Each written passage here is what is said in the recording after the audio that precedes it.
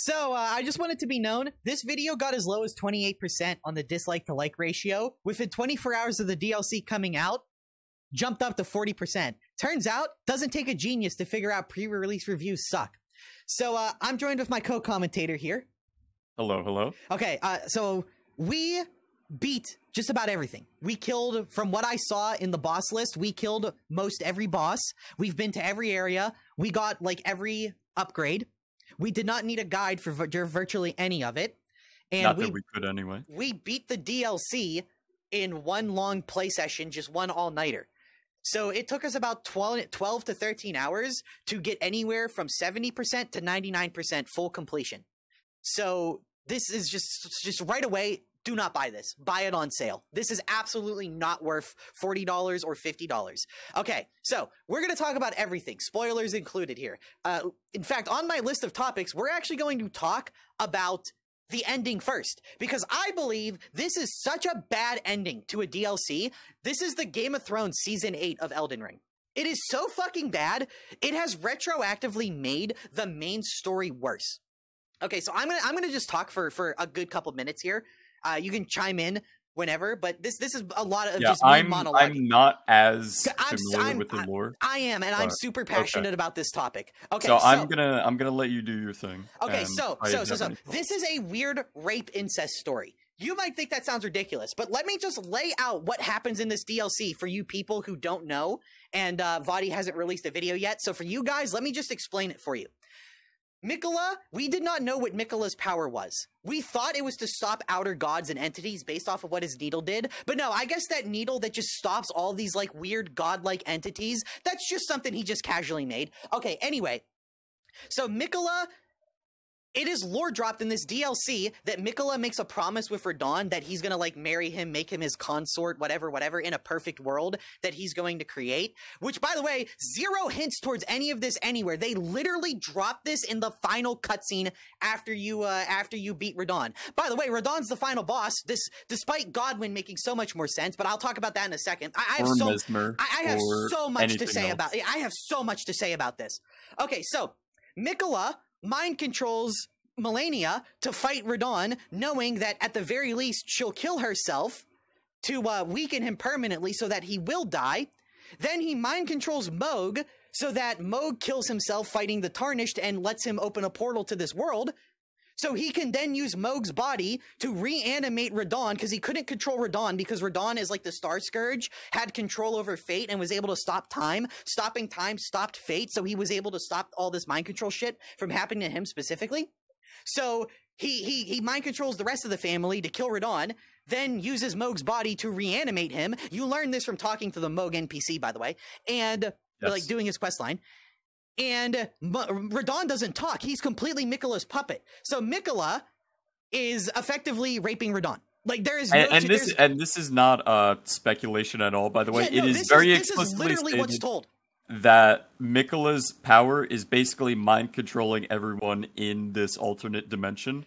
Oh no, he like can mind control people. No, no, no, no, no. He can mind control people in the main world too.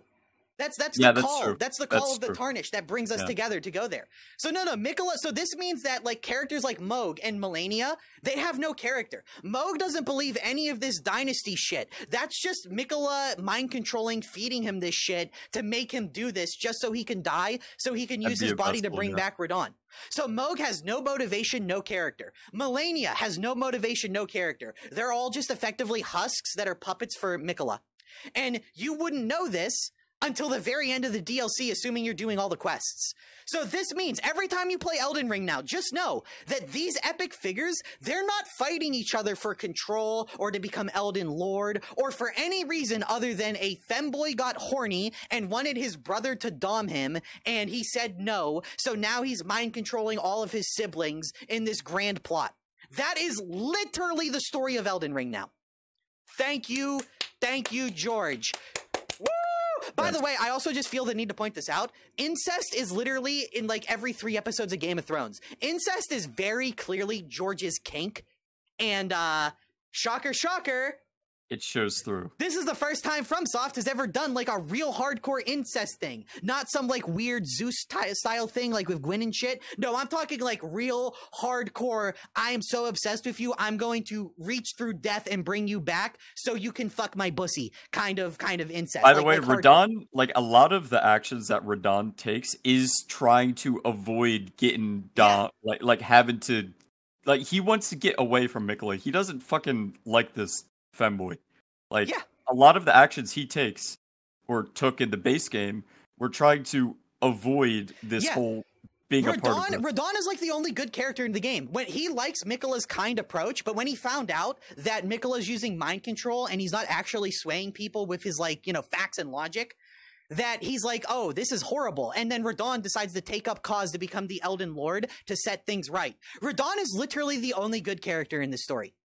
I and now he's now he's just Yeah, basically sex slave. being Liter- raped. literally a Yeah, sex slave, yeah. Yeah. he, he has no free will, no autonomy to do anything, but other than what Miquella tells him. He doesn't Okay. even talk, dude. He doesn't yeah, even he doesn't talk. even have grunts. Like the final boss is so shit. It should okay. Here's the other thing. It should be Godwyn. That's the final boss because all throughout the base game we hear about Miquella and Godwyn be having a special relationship. They're really close because Miquella like loves life and is so nice, and you know Godwyn like with death and stuff. Like there, there's like a whole thing with this. So it's like. But people say that, oh, well, uh, Ranni destroyed Godwyn's soul. Dude, Miquella becomes a god. He is God, like Cobson. I'm Cobb here, you know? Like, he can just say he has the power to bring the souls back. Who cares? You're writing, my brother in Christ, you are writing the story. You can say Yeah. that Miquella is so special and so powerful that now as a god, he can even transcend death and he can bring people back even if their soul's destroyed. Which, by and the way, and also which we have a precedent for. People come back from the dead all the time. Which, hold on, hold on. By the way, character. one of the themes of this DLC is showing you how just how far America went to go to be really cruel to like try to avoid death and stuff. So Miquella, the outcast son, being the one finding a way to truly revert death with this soul stuff, you could also put a twist on it where it's like, yeah, it brings you back, but you're not your true self, blah blah blah. It's not a good thing because the like with Sekiro, like part of the story of Sekiro is living forever is not even worthy in the like a good thing in the first place. Like there's just so many things. Here's the other thing: the Shadow Realm is supposed to be the opposite of the main realm. The Gloam-Eyed Queen is supposed to be Marika's opposite. Why is she not even mentioned in this DLC? Like, ah, okay, that's enough. That's enough on the the story lore ending because holy fuck, it is it is just so bad. It is just so fucking bad that it actually makes the base game worse because now every time you deal with these characters, you know for a fact that they actually have zero reason to be doing what they're doing. Just one guy in the DLC that you only see one time at the very end is the reason why this is all happening. Fuck. I that- mean, that it makes the game really so feels like the entire DLC is constructed around having a fight, cool yeah. twist final boss. Because Yeah. it doesn't make it doesn't follow. It really just doesn't. And it's out of nowhere. You're just walk in, you're like, what yeah, the yeah, fuck? dude. You if you weren't doing the one Mogwin guy's NPC quest line, when you walk into this final boss, he literally is just standing there staring at you. So you walk through the boss fog, and oh, a reused asset is staring at me, and it's like, huh? Where did you come from? How are you here? What are you doing here? And then he says nothing. They couldn't even give him a grunt or a quote or like, I will fight you in honorable combat. No, he literally, they could not even be fucking asked to give him a voice.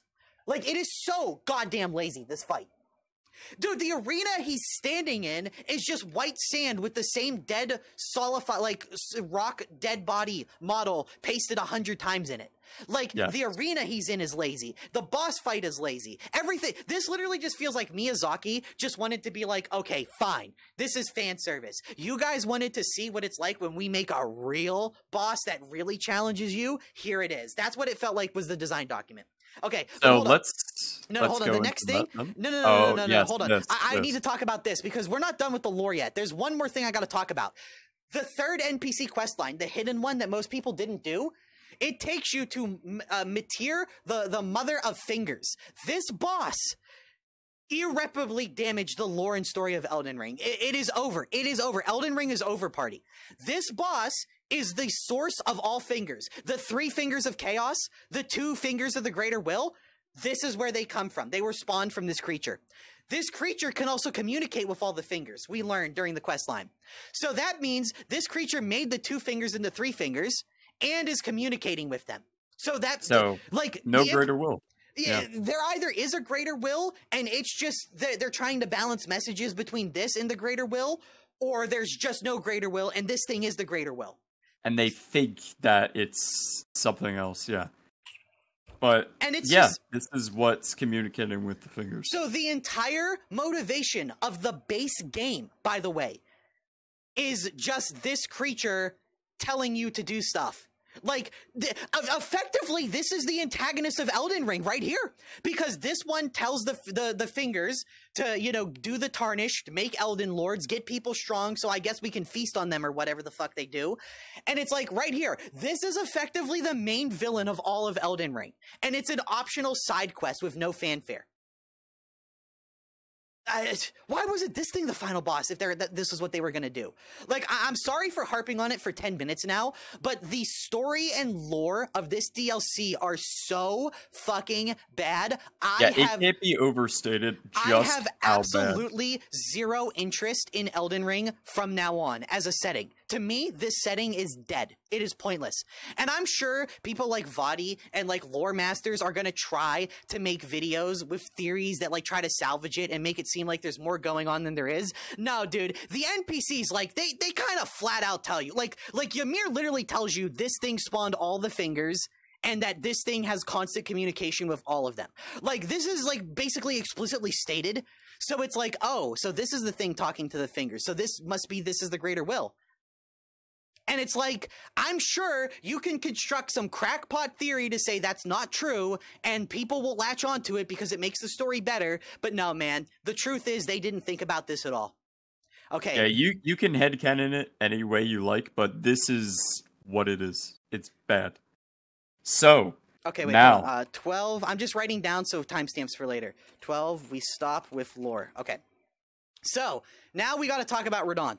This fucking boss fight is perhaps my least favorite boss fight they This- have ever made. this thing is a fucking war crime. Now, by the way, by the way, just saying this, we both beat this fight within the first night of the DLC coming out. So do not even fucking try to tell me skill issue. Because I, if there was Steam achievements for this, I'd be 0001% for beating this. I beat this thing literally within 10 fucking hours of the DLC coming out. So sh- don't even try to tell me skill issue. Okay, now I'm going There to is a lot to to talk, talk- about yeah, with Radahn. yeah, because I don't I, even know where to start. There's so many mechanics. Okay. that are All Let me let let me let me explain here for for just for just a bit because I think this fight what makes this fight so angry to me is that it's almost perfect. Phase 1 is perfect. I genuinely think phase 1 of this fight is perfect. Perfect down down to the last minute uh, fucking detail of the mechanics. I think this fight is near perfect. Then, then he goes into face. Well, okay, wait, hold on. There's there's two attacks that I have a problem with. One, uh, when he goes up in the air and he shoots meteors down, you're supposed to tell who he's targeting by who he's facing towards when he's winding up. But he winds the back so far that his fucking spine like twists back, and it's hard to tell if he's going after you, Mimic Tear, or Summon, whatever the fuck, like the NPCs. So he can get a cheap hit on you. Second off, actually dodging the meteors, dude. Unless you have like Bloodhound step or you bait him near the wall so the meteors just break before they even launch.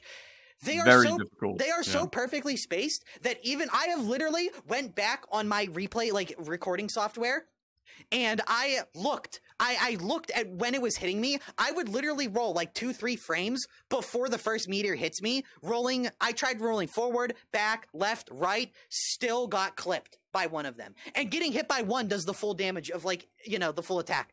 So, and this is a larger problem of the boss in general is that there's a lot of attacks where if they're not impossible to avoid is very obtuse and incredibly specific on how you're not supposed to take damage. Yeah, okay, like like a perfect example of this is his big suck. He'll just like really quickly throw out a giant vacuum attack, which okay, you can dodge it, and it's it's it's tough but fair. But then he does a follow-up where he places spikes on the ground. And those spikes linger for I counted 12 seconds. They they are a lingering damage hitbox for 12 seconds. And it's like and you can't run away because you just got sucked in. I mean, you Right. can run away, but you have to like jump. And that's what I mean. Like, Yeah. like Radahn has like one of one solution to resolve most of his attacks. He's almost like a Final Fantasy 14 boss, where it's like you have to resolve it exactly one of one ways. Okay, but now I want to talk about Phase Two because I think Phase Two is a terribly designed boss, and I'm going to say to start off. I have a 3090. I have a 3090, 64 gigs of DDR5 RAM, and I have a 12900K. So Uh, I My- have similar as well. I do have a 3090 as well. my my computer is like a five thousand dollar computer. My computer is significantly stronger than your computer, and I play on a mix of medium and high settings. I would still drop thirty to forty frames during this boss fight on certain Yes. moves that he would do. So if it works on your machine, I'm very glad that it does. But which for is me, definitely more of a bigger problem with the DLC in general. But for me- yeah, yeah. does not run well. For me and my friend here, it ran like garbage for us Yes. because he would do an attack that has an after image effect that also has a lingering magic effect. And it, it just it would just destroy my dia- my fucking frames. Like I would be rocking like 120 frames. He would do the attack where he like dashes forward and then like five clones of him follow. I had my FPS counter open. I went down to like 27 frames at one point.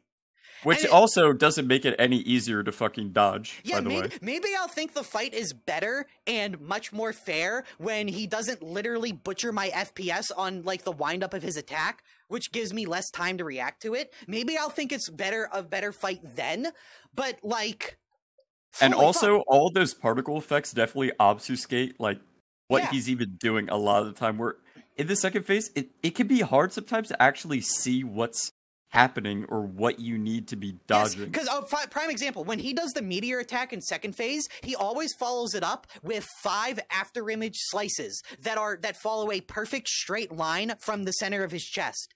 So it's multiple clones hitting the same area, following the same path, and they're like wishy, like magic. They're they're like Mikola Kellered here. So like you have this overlapping like fucking after image effect with all these golden particles flying around, and it's like, dude, what the fuck is even happening to my screen right now? yes. I do not think that visibility should be a factor in how hard something is. I No. think the player should always have max not. visibility at all times. Yeah, because that's that's not difficulty. That that is that is artificial difficulty. That Speaking- that isn't making something hard. Speaking of artificial difficulty, every single attack he does in second phase has a follow up lingering magic effect on the ground in all directions around him.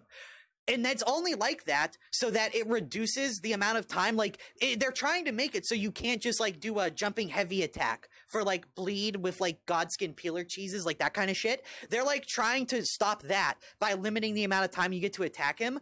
But, But you cannot punish this enemy. but because, well, you can punish some things, but the punish window Yeah. is so tight. You have to do your, you either need to be very tanky and have enough poise to just trade with him dead on, and your weapon needs to do enough stagger damage that it staggers him.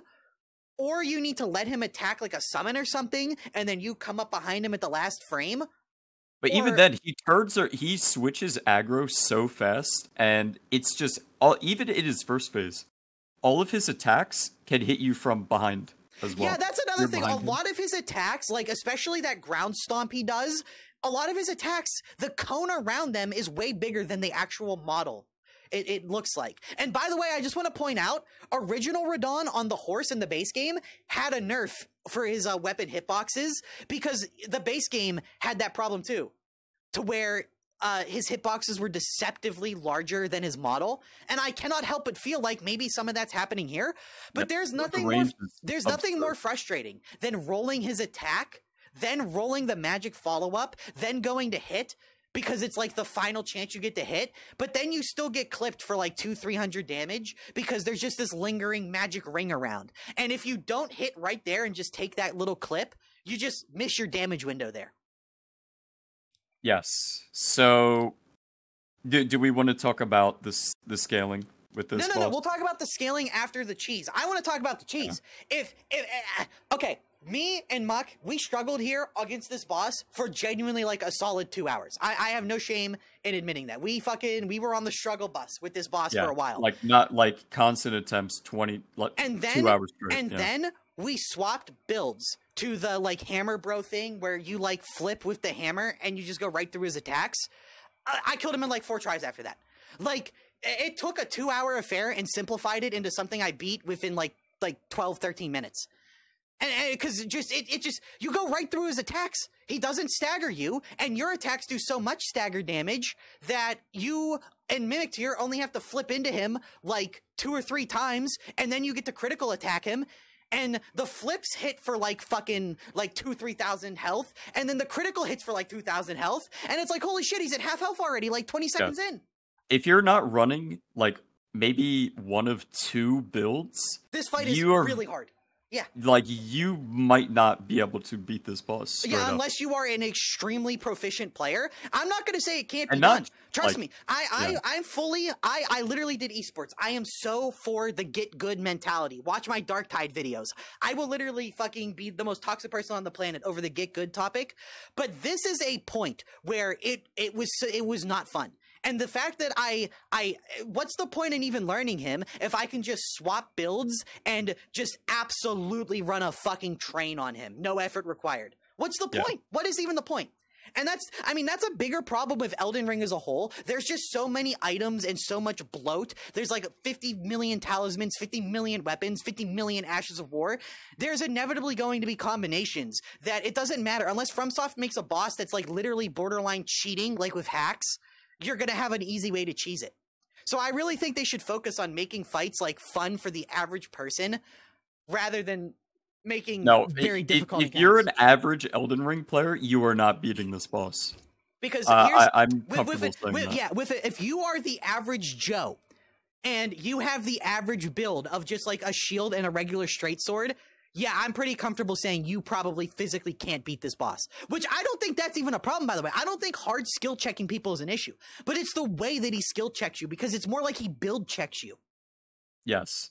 You know, if you're if you're not in like the top one percent of skill of Elden Ring players, unless you have like one of the very few builds that can proficiently kill him, you are going to have an absolutely miserable time Yeah, this and and and that's because of the scaling. So this is where we get to talk about scaling. Let me let me pull a screenshot up here. So uh, this was my character uh, after after like the end of the DLC. Right here. This was uh, this is the build I ran through most of it. I swapped back. I had eighty one percent physical damage negation. That means every hit that I take, fifty or eighty one percent of it would get negated. yeah, would get taken away. Radahn would hit me with some of his attacks, not his second phase holy attacks. Like, okay, for example, you know the attack where he flips in the air, then he flips again? That second Yep. flip would half health me. I have 2200 health, 81% damage negation. Uh, give me a calculator. Give me, uh, give me, give me, give me a calculator real quick. So, like, let, let's just let's just let's just let's just hold on wait a minute. I need I need to timestamp this because we're we're changing topics. Sorry, sorry, sorry, Yes. sorry, sorry, sorry. Hold on. Uh Okay, uh wait. We start talking about scaling.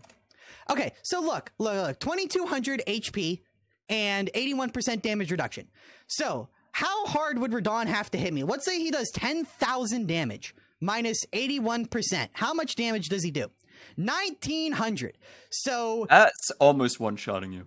so it's it's just it's just Yeah. like hold on, hold on. So like uh let's say 8000. Like this is the point that I'm making. The Yeah. scaling has gotten so high that new game enemies are starting to deal 8000 base damage. Like at what point, right? At what fucking point do we go like all right. This, by the way, if you summon the two NPCs to help you here, so you finish their quest, because you got to do that to finish their quest. By the way, he has about like 250,000 HP, I think, like 250, 300,000 in that ballpark.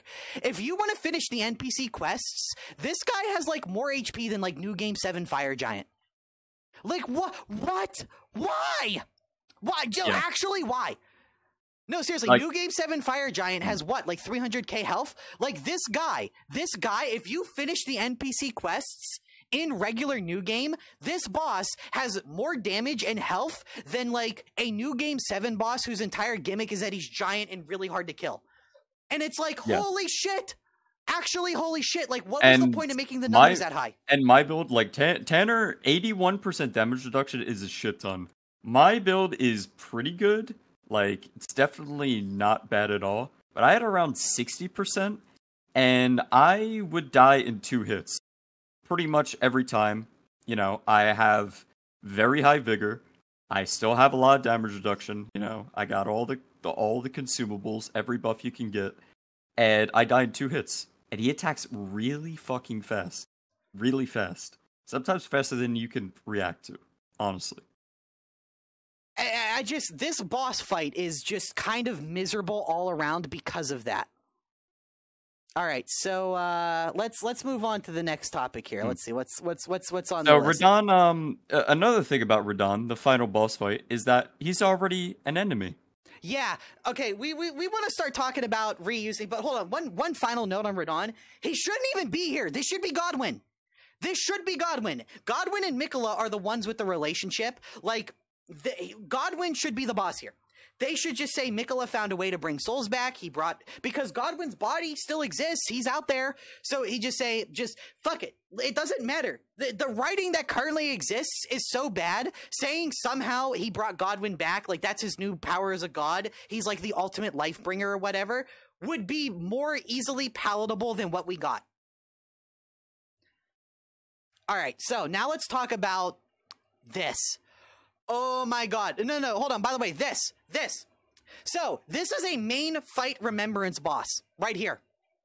And they reused them. Did we not complain about this with Astel? Was was this not a thing that we bitched about when they did this with Astel? You know, it is the same exact problem as the base game, but is amplified. So much worse. So much worse. So much worse. Like like this. Ancient Dragon Man. Hold on, I just want to take a little detour. Talk about this guy real quick before we get into the, the enemy reuse. Uh, you fight this guy as an invader. Go through a five minute long cave section, then he's the boss of that cave. Literally, what the fuck? The only difference is he has like 10 times more health. Like, dude, this is not a boss fight. This is just an invader with like 30,000 hit points. That's all it is. And you already made me fight him as an invader. Like, this is not a boss. But it's just full of shit like this, dude. So hold on, look Yeah. at this, look at this, look at this field bot. Let me, uh, let me, let me, let me turn dark, dark, dark reader on real quick.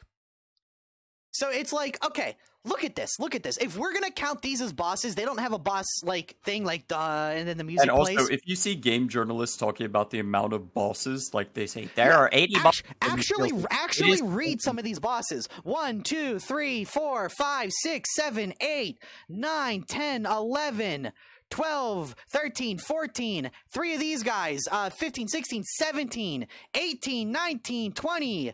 21, 22 tree sentinels, 23, 24 of these. So, like, 24, no, 25, 26, 27, 28, 29, 30, 31. Like, you see what I'm saying? Dude, it's like, of There's the still 40 magma worms. There's still death right birds. of, of the of the yeah. supposed 40 bosses in this DLC, like literally like 80% of them are just re Oh yeah, wait, wait. Let me uh, let me timestamp this. Hold on. Uh Hmm. 2028 we talk about reused assets. Literally of of the fucking like 40 or whatever fucking supposed bosses, like 30 of them are just repeats. Yep. So there's going to be around eight or nine furnaces. You're going to see like three hippos. Uh, there's like random tree sentinels. There's like two tree sentinels. Uh, It's it's just yeah. By the way, they literally reused the dual tree sentinel fight on a bridge. Like it's to the point where they're literally just plucking bosses from the main game and just dropping them in the DLC in the same arena, the same boss, the same number of the same boss in the same arena. And it's like, oh, speaking of the same arena, um, here let me let me let me let me let me pull it up on uh on the on the other tab here and then drag it over, which is what I should have been doing this whole time. Uh, Dark Eater Midir, his arena got reused. Hold on, Elden Ring Fluorescent Knight. The Fluorescent Knight for Saint or for Saint Trina's fucking quest.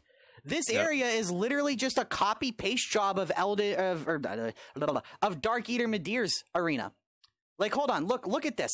Look look at this and tell me this isn't the same. Look at this arena. It's got like the purple the water with the body sticking out. Look at this. It's got the purple the water the cave you drop down to get here. Like It's you a little graphical upgrade. yeah you cannot fucking tell me oh my god i'm having difficulty uh, technical difficulty. You cannot tell me that this is not like the same general design setup. You just you just you just can't. You just can't convince me that they are not just reusing. Oh yeah, by the way, uh, let me pull up the map here real quick. Do, do, do, do, do. Where is it? I have the map somewhere. This. This rise is literally Rena's, uh, Ranni's rise copy pasted, literally down to the last minute detail. They literally just went into the engine editor, lifted that fucking model, the interior, and all of it, I just plopped it right there. just plopped Yep. it in the DLC. This is this gets so bad. Like they've literally reused entire sections of just unique tile sets and just plop them in the DLC. For Like, like no take reason. uh like Bonny Village and things like that. All of those, all of yeah, those, all those buildings houses are and ju- shit yeah. are they're in the base game. The Alber, uh Albernac Village. It's all the same buildings, all the same shit. All right, let me uh, let me go back to our list here. Most of the bosses are re- there's ten dragon fights, by the way. Or I'm sorry, I actually think there's more. There's like three Drake fights. There's an ancient fight. I'm not going to count the main dragon at the top of the peak because he's actually pretty unique. But it's like there's like five ghost flame dragons. There's like two regular dragons. There's three fucking drakes, which are just dragons with less HP. They all just they're all the same fight. They all have the same move set. They literally spam this boss let's see, Furnace and Ghost Flame Dragon spam. Yeah, yeah, yeah, yeah, yeah, yeah. Okay, okay. Holy shit. The, the, the, the, the spam of some of these bosses. There, you will fight a Ghost Flame Dragon. There's a Ghost Flame Dragon in the swamp in the literal first area, right next to the big furnace golem. Let and me- you know what you get for fighting this? Fucking by the fuck way? all. Nothing. talk- yeah. Yeah, hold on. Like like right around here, like right in this area, there is a, a ghost flame dragon. Yeah, it's like right here. Uh, you fight this. Then right over here in the Cerulean coast, another one swoops down and fights you. Then like again, when you get like over here, there's like a big archway like over here. Another one tries to fight you, and it's like guys. There's like five of these things. It's the same boss five times over. This DLC reuses bosses a greater number. There's a greater number of Ghost Flame dragons in this DLC, which this DLC map is like small. It's small. It's small, and we're gonna talk about that. Most of this is junk. You can cut out like this entire section, but we're gonna talk about that later. And it's just like, dude, there is so much just shit. Like, fuck, they reuse the bosses so goddamn much. I was I never wanted to see another fucking furnace golem when we were nearing the end of this. Cause you know, there's like a furnace golem here. There's like two furnace golems down here. There's a furnace golem here. There, dude, there's literally a furnace golem that that guards these fields. You run down here, go across this bridge, there's a furnace golem at the end of this bridge. Like, if the draw distance was bigger, there are areas where you could see two furnace fucking golems back to back. And a ghost. If if you were standing here and had unlimited draw distance, you would see two furnace golems and a fucking ghost flame dragon. All like within arm's reach of one another. And it's like, oh my god, this is not content. This map feels so empty if you don't count the the th- the, the the repeat bosses. But hold on, we'll talk about the map next. Th- this is I should have uh, pushed this up a few, but uh, Messmer. I want to talk about the main man from uh, Nazareth over here, Messmer. You really like Messmer. Yes, I I think Messmer is really cool. I think he's a cool fight. Uh, doesn't matter though Yeah. So because. Uh, okay, okay, you, you go first. Okay. So, Messmer literally, like, we are given no explanation why he's here other than a few snippets of lore that say, like, Marika sent him here to, like, wage war with the people on the tower with, like, the Chinese dancing dragon parade guy. We don't really know why she wants them dead other than, like, they're heretics, I guess. Like, it's a complete, like, nothing burger Yeah. reasoning. So this guy is on the box art, and you He narrates the trailer. Yep. Yep. And there is literally nothing of him, and he's just in a room. Yeah, yeah, you kind of got No clickbaited real hard with this guy because he he is shown in the trailer very prominently. He's the last thing you see in the trailer. He narrates the trailer. He's on the box art, but this character is not in the he's DLC. not a character. No, one talks about him. None of the NPCs mention him, like borderline at all. They'll go like, "Oh yeah, the Impaler's army marched here," and then that's it. Then they go on to the next topic. So he's not mentioned at all. His impact on the world is not felt, dude. So he's like the Impaler. When you run across the bridge to like his fort, Yeah, you, You see a bunch of fucking people. but then you go like- to the to the dancing like dragon tower area, and I do not remember anyone being impaled there. But apparently, that's where he waged his war. This is what he was sent here for. Why is there no environmental storytelling showing that area completely destroyed and like the brutality of this guy and why he has his name? There's none of that. It, it's like, and by the way, I'm talking about uh this area, like this, this, the Belurat Tower. This is where he was sent to like go fuck things up. And it's like, okay, there's like, there's really no like impaled people all over the place. Most of the buildings are clean. They don't seem damaged. Like, if you had not had an NPC tell me that he was sent here to wage war with these guys, I would not have known that at all. Yeah. Like, that Yeah, is, in- I think this is an extreme waste of a very cool character. He's basically not in the DLC at all. The boss fight is really cool, but also Oh, it's it's it's easy. out of nowhere. It's, It's- yeah. And it's out of nowhere. You just kind of walk into a room, and you're like, "Oh, he's here." yeah, like, there's yeah. no build up. There's no fanfare. You kind of just walk into a room, and he's just kind of there. So look, he's in here. He's in the Shadow Keep. But like the Shadow Keep, the only thing we see of it is like a storefront. Literally, you walk in and it's like Shadow Keep storefront. Why the fuck is there a store in the Shadow Keep? This seems like some Sauron Fortress of Evil type shit. But no, I just Messmer's just chilling here. My main man from Nazareth, Messmer. He just chills here. He's not even at the top of the fucking tower, by the way. There's No. like an entire like five floors above him. He's literally just chilling in the middle on a of the yeah, shadow. you just yeah, not even on the middle. He's on the left side. You kind of just walk to the left, like beside some stairs. Yeah, there's no build up. There's no fanfare. He's not mentioned. He has no impact on the DLC. No one talks about him. You don't see like item descriptions mentioning him. You don't like get an item. Like for example, this area is lush green. Messmer's all about fire and like the shadow and he's a snake and stuff. You would think these people or oh, I mean there's no fucking people here because there's no characters because the map is empty. But it's like you would think that like there would be some like nature guardian of this area or like the hinterlands over here that are like keep this fucking guy and his flames away from us. Like we are going to retaliate against this dude. Like the way the trailer and box art looks, it makes it look like this guy is like a disowned son of Marika who's been building up his army here and conquered the Erd Tree in his own dimension, and now he's gonna like try to break into our dimension and try to take over here as well. Yeah, That's- it looks like that- he's some kind of like dictator character, you know. that's what I thought was going to happen, by the way. I thought the DLC was going to be about Messmer trying to get back into our reality so he can use his armies to destroy the Erd Tree and take over. That's so what I thought it was if going to be. if one of your main points of hype and you were really excited for this character and this fight and the lore around it, do not buy this DLC. There's nothing for you here. Yeah. Genuinely. Uh, Despite him being on the box art and all the trailers. about Messmer. Okay, let's see, let's see, let's see, let's see. What else? What else? What else? Also, why does him removing his eye cause him to turn into like a snake man? I'm sure I just missed an item description, but again, like you know how like in Dark Souls you can just look at an enemy and you can learn a lot about them from their visual design. You can see how hollowed Gwyn is to see how hard he's fighting to keep on. You can see Seath is like embedding crystals in himself because he does experiments on himself. That's how he's immortal. This guy just has like a red snake. He's like a Orochimaru. He's just got like a snake dick coming out from his robe. And Yep. then he takes his eye out and he just becomes Snake Man.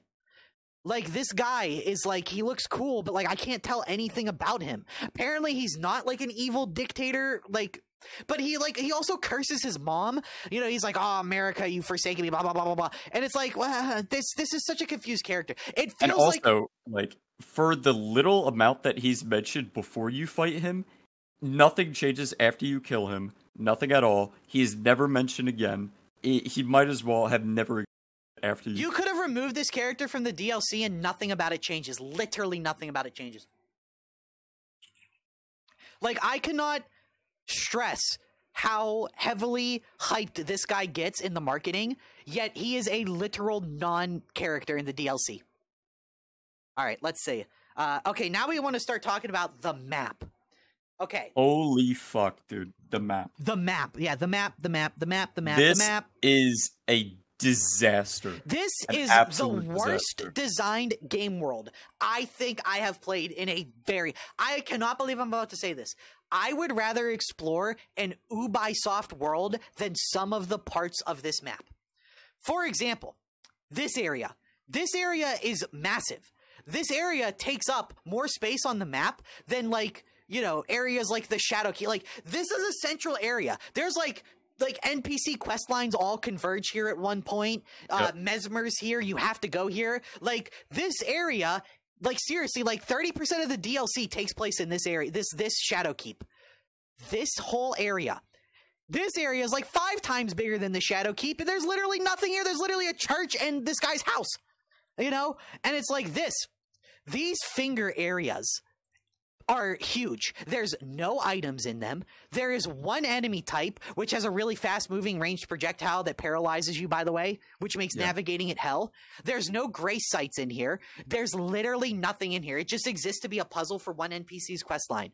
So, same with this. This area, while yes, it's cool, and this is where the all the dragons are. But the dragons don't have any purpose in the DLC. The dragons have nothing to do with like Miquella and all the shit going on over here. Yeah. So like this area, like the Frenzy Flame Abyssal Woods, is cool but really underdeveloped.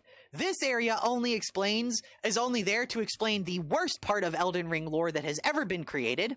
So you could shave off the dark woods, this- the yeah. mountain. You could also shave Yeah, off the on, finger look. areas. If you put your mouse right here and you go up like this, you know, up like this, just near and then swoop around the shadow keep, you can cut all this off. I want you to take your hand physically. Hold on, let me turn this off.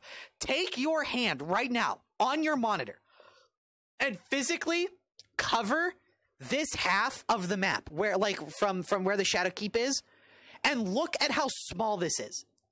Also, this area doesn't really serve much of a purpose at all. It just exists for St. Trina. So if you really wanted to get greedy, you could cut this off as well. The entire like entirety of the DLC takes place in this circular area. And yet, despite how small it is, It- it's going to take you a little while because it is constructed Yes. like okay. a complete psychopath made this. Okay, Yeah. so look at this map. Actually, look at this. Look, this is a high level of elevation. This is a normal level of elevation. This is an impassable river. This is an impassable wall. This is a, a bottom level of elevation. So we have we have this is look this is a mountain with multiple layers of elevation. This is the main road. So you start here. This is where you walk. Then you have to find a way up this mountain that has one two three layers of evela- ev- ev- uh, elevation. Then you have to find your way down here which is the bottom of all this. And no this doesn't connect into it. You have to come down here through a different route like through a Yeah. cave. So, so on those top right um trees, like on the trees where you were just are, no, where you just oh just you mean were. this? Yeah. So that dark area, that valley, is not clear at all how to get down there. You will die every time when you try.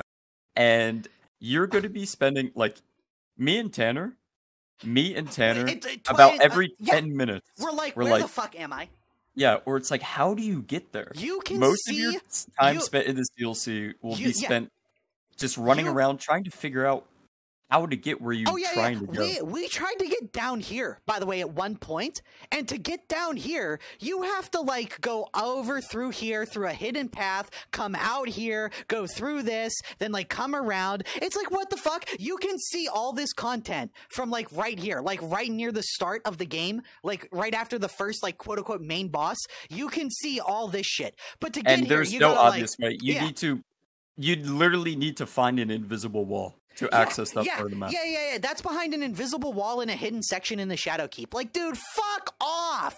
Like, like actually fuck off. You know what hidden walls were almost exclusively used for in Dark Souls 1, 2, and most of 3? Shortcuts to loop you back around to other areas. Invisible walls in Elden Ring are used to wall off content to like artificially inflate it. So you Yeah. just don't know where to how to get there. Me and Tanner probably spent around maybe three to four hours actually actively like engaging in gameplay and fighting enemies. The vast majority of our like 13 hour playtime was just spent running around trying to figure out how the fuck you're even supposed to navigate this area. It is a complete mess. None of it makes any sense. It's not fun to navigate. It's not fun to go around in. It's mostly empty. You can see that on the map too. Just very big open swaths of just trees and shit. Yeah, yeah. Look at these. Look at this. Look at the bosses overlaid. You know, look. It's like demi human, ghost flame dragon, chief blood fiend. This is just a literal uh, trash mob that you fight constantly with bigger stats. This is just a rune bear. This is just a troll enemy. This is an actual. This is real an boss. actual boss. Yeah. Yes. And, and look, another ghost Another flame dragon. Look, another fucking bear. A, Another- a, a furnace a golem. golem, Yeah, yeah. another golem. Look, another Death Knight. Like this is what I'm saying. This isn't content within. Like, look at this. Look at this. Look at this. Within this area, every single one of these enemies, except for this one, is a reused fucking asset flip that is like just endlessly spammed at you. Like this is not content. Yeah, so if you ended up buying this DLC and you're past the replay point, don't even bother with the south side of the map. You're wasting your time and just have fun trying to actually Look at this. If even if we set it to all. Even Yeah. if we set it to all, like look at this area. This is 90% dead space, but Yeah. with a with like one point of interest where everything is located. And also, most of those things are just crafting materials that you're looking at right now. Yeah, if we If get rid of away the crafting, consumables, uh, oh wow! All of a sudden, it's getting a lot less populated. Isn't yeah, let's let's only have armors, Ash of Wars, bosses. Let's only have like actual things. Uh, do do do do do do do do do do. Okay, now now look at the map. If you zoom out real far, oh, it looks like there's a lot of stuff.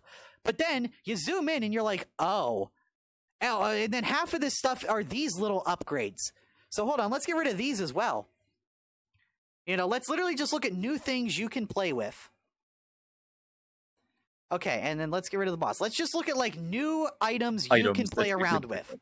And it's like, okay, so you you you start here. You Also, run, you should run, take off the summoning pool and spirit springs as well. you run, you run. Oh, It's even less populated then.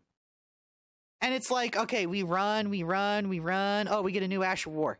Okay. We run, we run. You know, there's a few things around here. But it's like, just look at how sparse this shit is and compared to the base with game map. sparse it is, all of this shit sucks. You're not going to use 99 Most, nine. most of these items are bad. Like these hands, for example, these hands are like, I did not find one that could really work.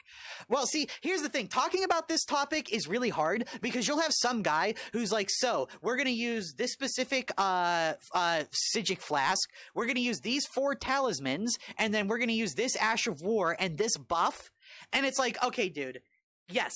Any weapon in this game can be made pretty good if you use hyper damage setup. But the generic chud hyper damage setup works for just about like everything. If you just pick up most like this this weapon pisses me off. I really wanted these to be good. They're I- so cool. Like like it, it feels like you're Pontiff, literally. And yet But they're so bad. They have descaling in four stats, have a triple, have a, have a three way split damage type, and an Ash of War that adds less damage than just buffing the weapon normally with like Yeah. a grease. And it's like, oh my god, you made this cool weapon, gave it a unique moveset, a really cool Ash of War, and it's like unusably bad. and also another thing is that if you pick these items up, you're not going to be able to use them in the DLC. The only things you're going to be able to use is fully maxed out shit. These Yeah. weapons will not work. You cannot use these weapons in the DLC. And if you I mean, want to like if run you through can, the you DLC, have to go back. You have to like go back to the craft guy and like remax all of them out. Yeah, like you can't just pick one of these up and use it because you will do no damage. and it's it's just eh, oh my god it's just it's crazy how uh how so many of the weapons do not even fill a niche it's like they just exist to be this this stereotypical stat block on this archetype of weapon Yeah, but it's definitely like even then when it looks small when you cut off all those things, the only reason it takes you as little time as it does is just because of how difficult it is to navigate. That's it. Most of your time is going to be spent running around. I want to talk about these, which, by the way, there's way more of these fragments. This map does not do it justice, dude. There is so many more of these. There's like 60 of these.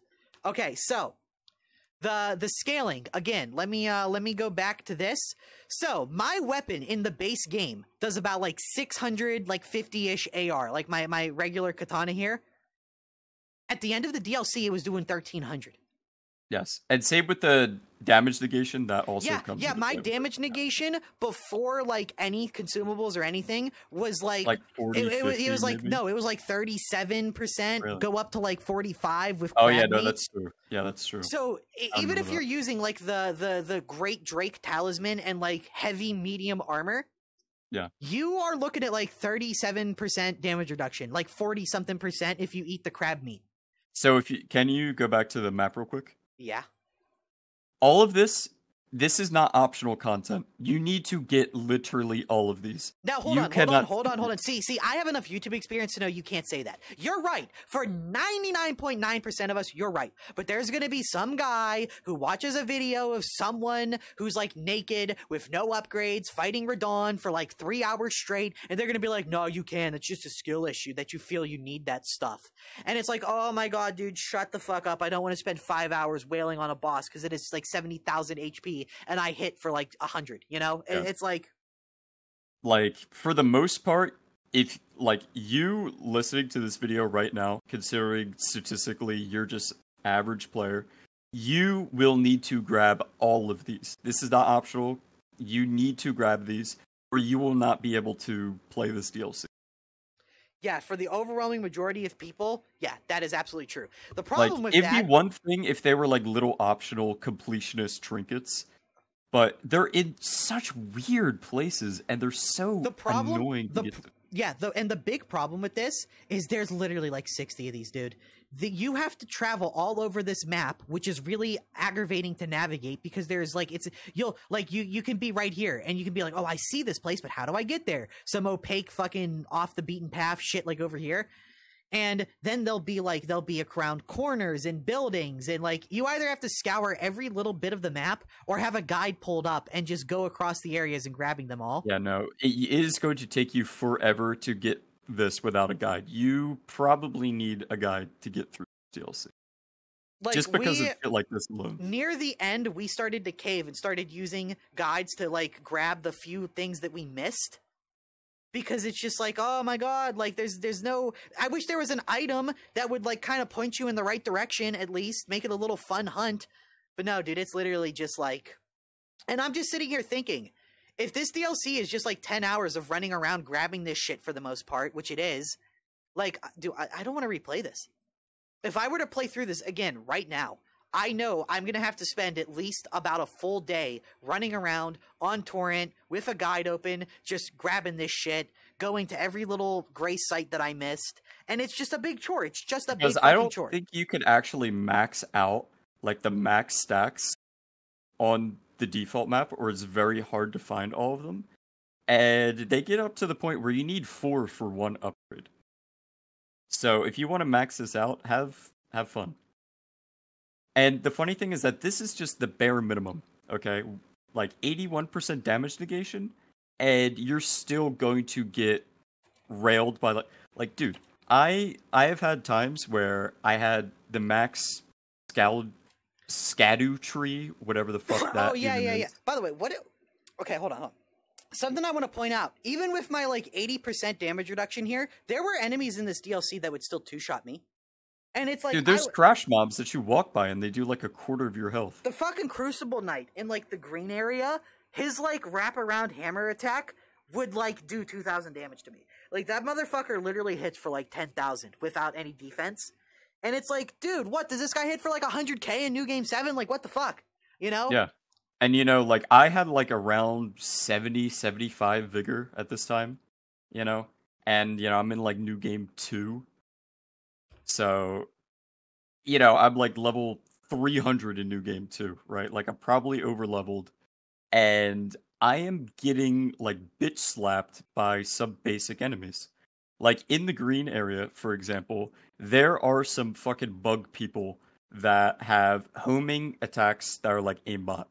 and they will instantly knock you off torrent and one shot you, pretty much. You can't not fight them. You can't run past them. They will literally kill you no matter what gear you have.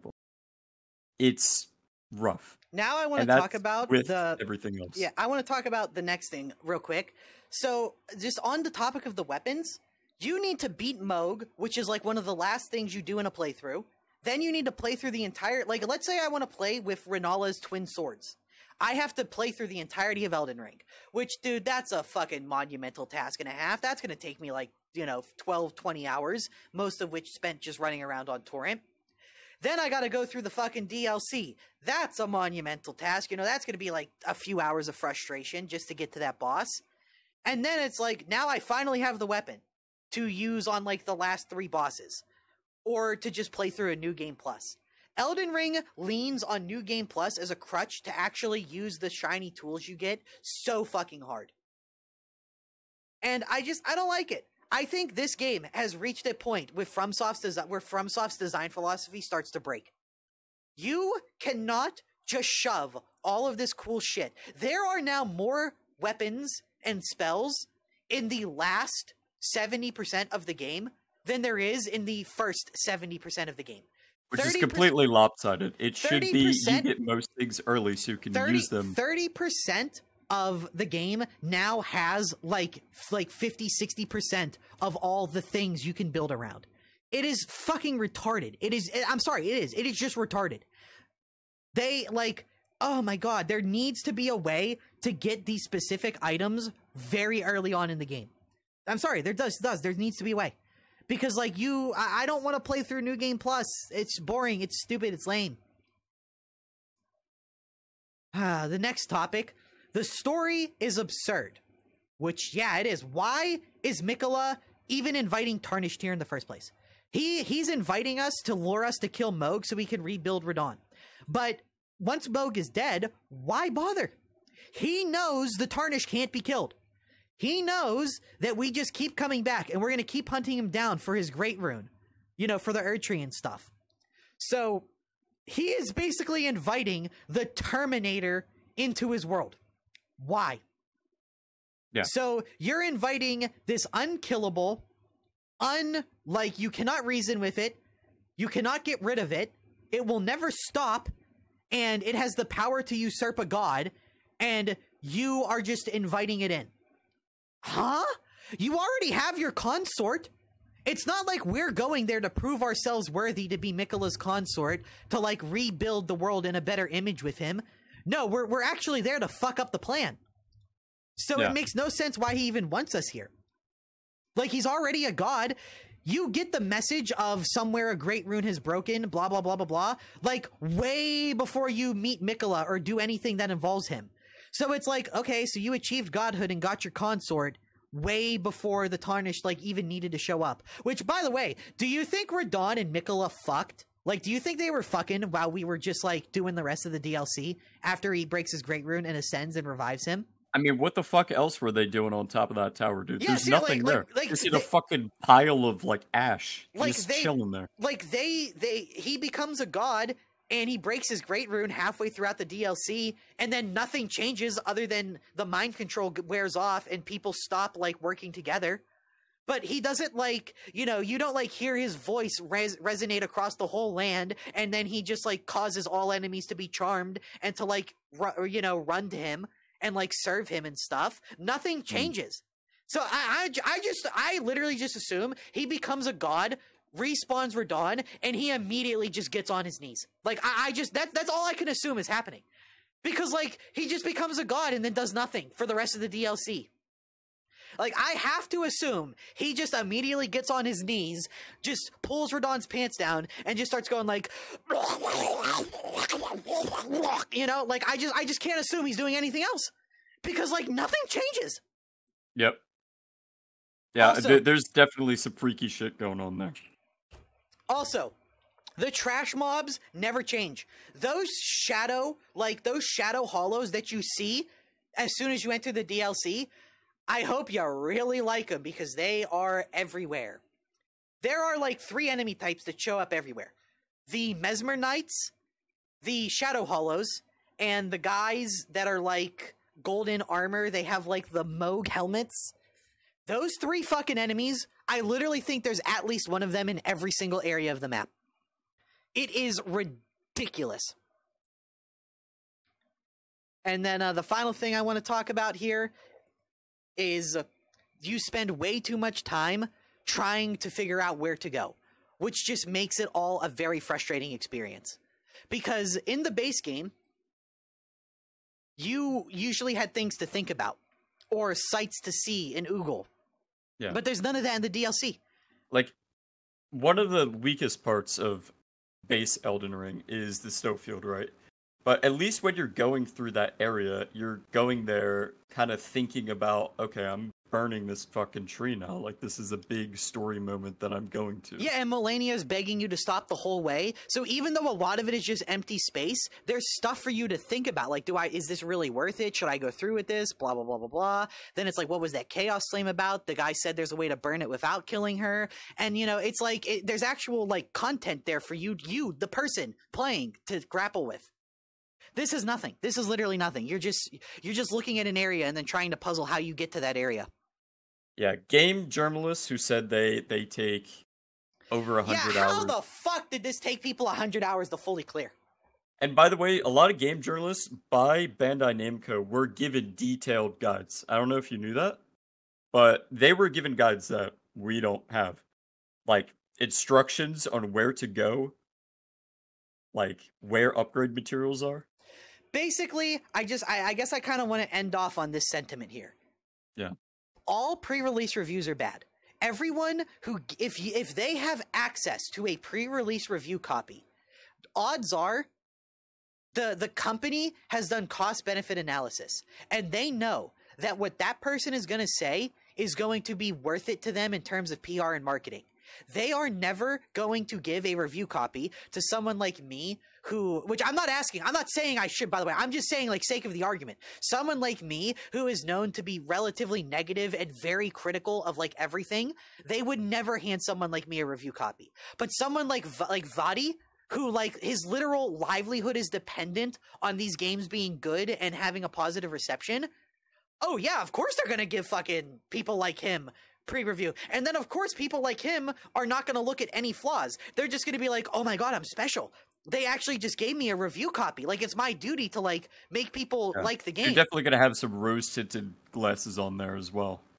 But Remember, Yeah. look, look. All I'm saying is, remember Cyberpunk. That was the highest rated game like ever until it came out, and people were like, "This sucks."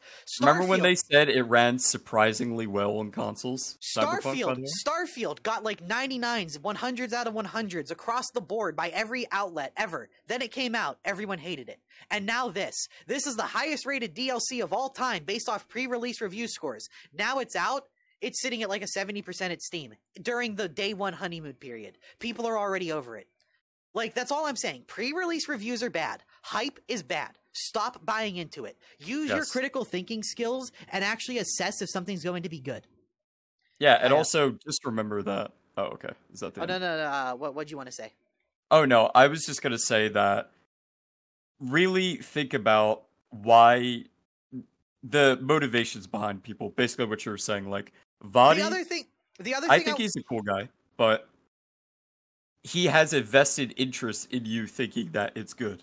and that the story is deep and there's Yeah. more to it than there actually of is. Yeah, course. but like, here's the thing. Here's the, here's another thing I want to say. Like, this DLC is a big miss for FromSoft. This is not worth fifty dollars that they're charging. This DLC is. It's just oh no you hold on real quick and I'm sorry to keep ragging on the on on the Vaati guy here but he said that this DLC is the size of Limgrave if they forgot to mention that Limgrave was three times bigger than it actually is. Uh, No. no. Uh, no, especially when you consider 30% of the map is literal dead zone that has nothing in it. Like, uh, no, this is not, like, this is about as big as Limgrave. The only difference is there's, like, these long stretches of roads with literal nothing on them. Limgrave, you know, like, here's the thing.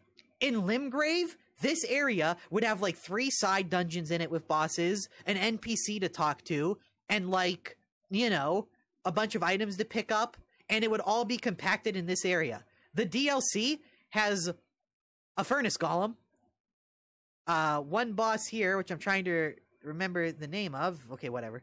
I think it might just be an invader or something.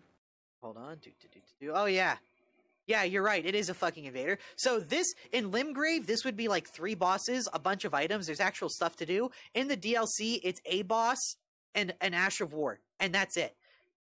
But instead, like, look at this distance from here, from this main boss, all the Hmm. way to here. There's literally nothing in this area. This, Oh, there's also one point that we were talking about before that I think we should mention. Uh the reuse, like if you just compare it to the base game, imagine if there was like 10 tree sentinels in Limgrave.